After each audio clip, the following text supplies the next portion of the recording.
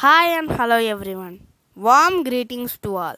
I am S. Kaushik Anand. This video deals about vitamin B1. Thiamine is known as vitamin B1. It is also one of the 8 B complex vitamins. Its molecular formula is C12H16N4OS. It is soluble in water and insoluble in alcohol. Thiamine decomposes if heated.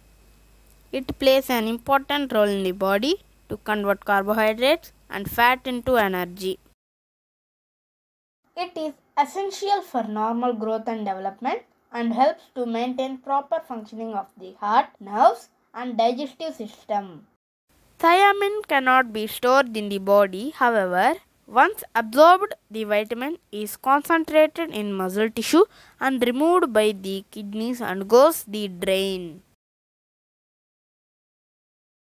The reference daily intake is about 1.1 to 1.2 micrograms per day. Thiamine deficiency causes beriberi disease and symptoms like vomiting, loss of appetite, difficulty in breathing, paralysis. Vitamin B1 rich foods edamame, leafy vegetables, sunflower seeds, winter squash, asparagus, sweet potato, Brussels sprouts, green peas, yogurts, brown rice.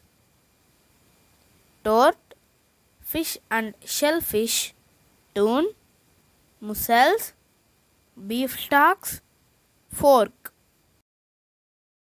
Thanks for watching.